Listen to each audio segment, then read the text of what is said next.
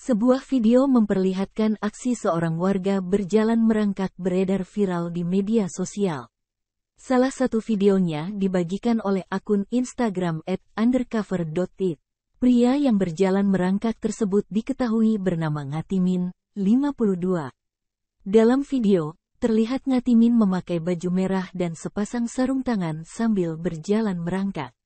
Ngatimin tidak sendirian, tetapi terlihat puluhan warga yang ikut berjalan bersamanya. Tetapi, para warga lainnya berjalan normal seperti biasanya. Ngatimin adalah warga Padukuhan Karangnongko, Kelurahan Kemiri, Kecamatan Tanjung Sari, Kabupaten Gunung Kidul, Daerah Istimewa Yogyakarta. Peristiwa Ngatimin jalan merangkak tersebut terjadi pada Minggu, tanggal 12 November tahun 2023.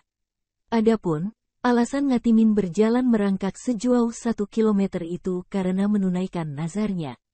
Nazar tersebut diucapkan karena kondisi jalan di sekitar rumah Ngatimin yang memprihatinkan. Ngatimin mengaku, nazar tersebut ia ucapkan pada 2014 lalu ketika jalan di sekitar rumahnya berupa tanah dan batu. Ngatimin menjelaskan, selama ini jalan di desanya itu hanya berupa batu dan beberapa bagian sudah dicor blok. Hingga pada 2023, melalui aspirasi kepada salah seorang anggota DPRD Gunung Kidul, akhirnya jalan tersebut diperbaiki. Dalam melakukan aksinya ini, Ngatimin mengaku mendapatkan dukungan dari pihak keluarga hingga warga desa.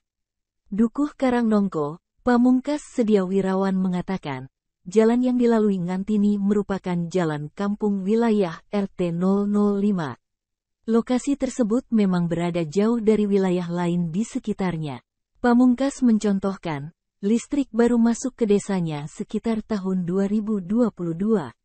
Sementara PDAM masuk sekitar akhir 2022 lalu. Salah seorang anggota DPRD Gunung Kidul, Lagio mengatakan, pihaknya menyerap aspirasi dari warga Karangnongko yang mengeluh jalan belum pernah diaspal. Padahal jalan tersebut banyak dilalui warga. Download Tribun X sekarang. Menghadirkan lokal menjadi Indonesia.